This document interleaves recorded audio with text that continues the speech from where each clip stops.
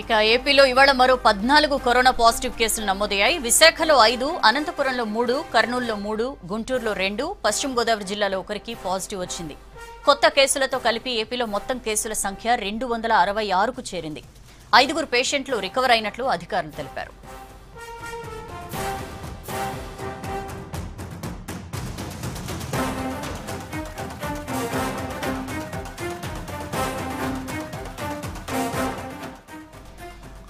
ఏపీలో సిచ్యుయేషన్ చూస్తున్నాం. ఇవాళ మరో పద్నాలుగు కరోనా పాజిటివ్ కేసులు నమోదయ్యాయి. విశాఖలో ఐదు అనంతపురంలో మూడు కర్నూలులో మూడు గుంటూరులో రెండు పశ్చిమ గోదావరి జిల్లాలో ఒకరికి పాజిటివ్ వచ్చింది.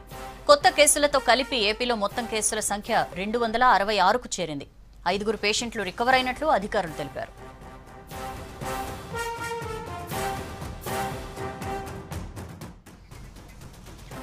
ఏపీలోనూ కరోనా డేంజర్ బెల్స్ మోగిస్తోంది. మొన్న నెల్లూరులో రికార్డు స్థాయిలో కరోనా పాజిటివ్ కేసులు నమోదు కాగా నిన్న కర్నూలులో ఒక్కరోజే ఏకంగా నలభై తొమ్మిది పాజిటివ్ కేసులు నమోదయ్యాయి. ఏపీలో ప్రస్తుత పరిస్థితికి సంబంధించి వివరాలు తెలుసుకుందాం. కోటిరెడ్డి మనతో జాయిన్ అవుతున్నారు.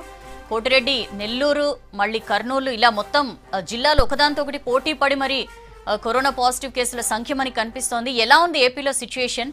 ఎలాంటి చర్యలు తీసుకుంటోంది గవర్నమెంట్? సౌజన్య. ఆంధ్రప్రదేశ్లో ప్రస్తుతం ఉన్నటువంటి కరోనా బాధితుల సంఖ్య క్రమంగా పెరుగుతూ వస్తుంది. గత మూడు రోజులుగా యావరేజ్ న ప్రతి రోజు యాభై కేసులకు పైగా నమోదవుతూ వచ్చాయి. నిన్న ఒక రోజు కేవలం ఒక కర్నూలు జిల్లాలోనే మొత్తం యాభై రెండు కేసులు నమోదై నమోదయ్యాయి. ఈ రోజు ఇప్పటి వరకు ఉదయం పది గంటల వరకు ఉన్నటువంటి నివేదిక ప్రకారం ఈ రోజు కూడా ఇప్పటికే పద్నాలుగు పాజిటివ్ కేసులు వచ్చాయి.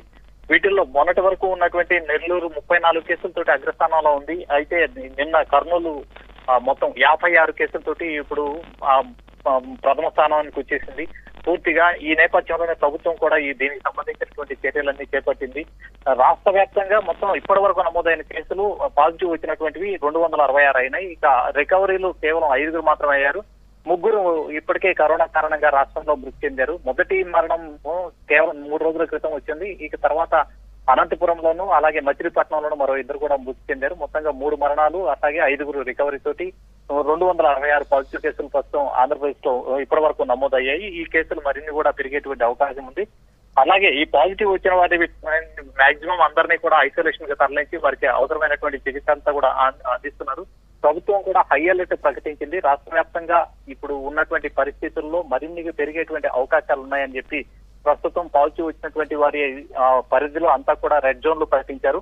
అట్లాగే ఈ రెడ్ జోన్లతో రెడ్ జోన్తో పాటు ప్రత్యేకంగా అక్కడ వైద్య బృందాన్ని పంపించేసి ఒక కిలోమీటర్ పరిధి వరకు ర్యాపిడ్ సర్వేలు నిర్వహిస్తున్నారు. వైద్య బృందాలు ర్యాపిడ్ సర్వే నిర్వహించడమే కాకుండా అక్కడ ఏదైనా అనుమానంగా ఉన్న వ్యక్తులని హోమ్ క్వారంటైన్ కానీ అవసరం అనుకున్నట్లయితే ప్రభుత్వం ఏర్పాటు చేసినటువంటి క్వారంటైన్కి తరలించేస్తున్నారు.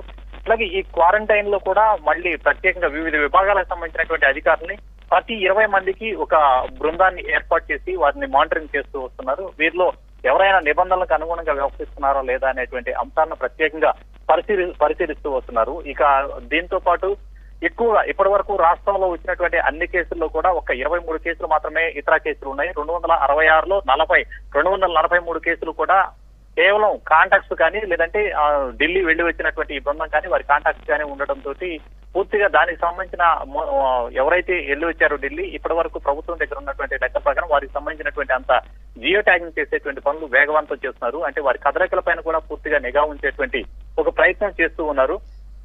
దీంతో పాటు ఈ ఆ రెడ్ జోన్ ప్రకటించినటువంటి ఆ పాజిటివ్ వచ్చినటువంటి ఏరియాల్లోకి ఇతరులు ఎవరు వెళ్ళకుండా అదే తగినటువంటి జాగ్రత్తలు కూడా తీసుకున్నారు. ఇప్పటికీ అంటే ఈ రోజు పద్నాలుగు కేసులు నమోదయ్యాయి. ఇంకా శాంపిల్స్ కావాల్సి ఉంది. ఇప్పటికీ శాంపిల్స్ అంటే ఇక్కడ చేస్తున్నటువంటి టెస్ట్ ల్యాబ్లో టెస్ట్ జాప్యం జరుగుతుంది అనేటువంటిది ప్రభుత్వం అనుకుంటున్నటువంటిది. దీనికి తగ్గట్లు ప్రతి జిల్లాలో ఒక ల్యాబ్ ఏర్పాటు చేసేటువంటి అవకాశాన్ని పరిశీలించాలని ముఖ్యమంత్రి ఆ విభాగాలన్నింటికీ కూడా సూచించారు. ఆ ప్రయత్నాలు కూడా జరుగుతూ ఉన్నాయి. కొన్ని చోట్ల కొంచెం లేట్గా ఫలితాలు వస్తుండటంతో ఇప్పటికీ పాజిటివ్లు ఎన్ననేది ఇంకా ఎప్పటికప్పుడు ప్రకటించడంలో కొంత జాప్యం కూడా జరుగుతూ వస్తుంది. ఉదయం పది గంటల బులెటిన్ రిలీజ్ చేయడానికి పదకొండు అవుతుంటే నైట్ ఈ బులెటిన్ రిలీజ్ చేయడం కూడా చాలా లేట్గా జరుగుతూ ఉంది. అంటే వీటికి సంబంధించినటువంటి ఇబ్బందులన్నీ ప్రభుత్వం దృష్టిలో ఉన్నాయి. వీటిని పరిశీలిస్తూ నెక్స్ట్ చర్యలు ఏంటి అనే దాని మీద ప్రతిరోజు ముఖ్యమంత్రి అలాగే సీఎస్ కూడా సమీక్ష నిర్వహిస్తూ వస్తున్నారు. కోటిరెడ్డి. మర్కజ్ మర్కజ్కి వెళ్ళొచ్చిన వాళ్ళందరినీ ట్రేస్ చేశారా? వాళ్ళని వాళ్ళ ఫ్యామిలీ మెంబర్స్ని అందరినీ క్వారంటైన్ చేశారా? ఇప్పటి వరకు అంటే ప్రభుత్వం చెప్తున్నటువంటి ప్రకారం మొత్తం వెయ్యి ఎనభై ఐదు మంది మాత్రము మర్కజ్ వెళ్ళి వచ్చారని చెప్తున్నారు. అయితే ముఖ్యమంత్రి మొన్న చెప్పినటువంటిది పూర్తిగా ఇంకొక ఇరవై మంది మాత్రమే మనకి లభ్యం కావా ఆచూకీ లభ్యం కావాలని చెప్తున్నారు. ఇప్పుడు అధికారులు చెప్తున్న ప్రకారం అయితే అందరూ దాదాపు అందరినీ ట్రేస్ చేశాము. ఇప్పుడు సమస్య లేదు. ప్రస్తుతం ఉన్నవారు అని చెప్తున్నారు. అయితే ఈ మర్కజ్కు వెళ్ళి వచ్చిన వారి పాజిటివ్తో పాటు పాజిటివ్ కేసులు ఎక్కువ అవడంతో పాటు వారి. కాంటాక్ట్లో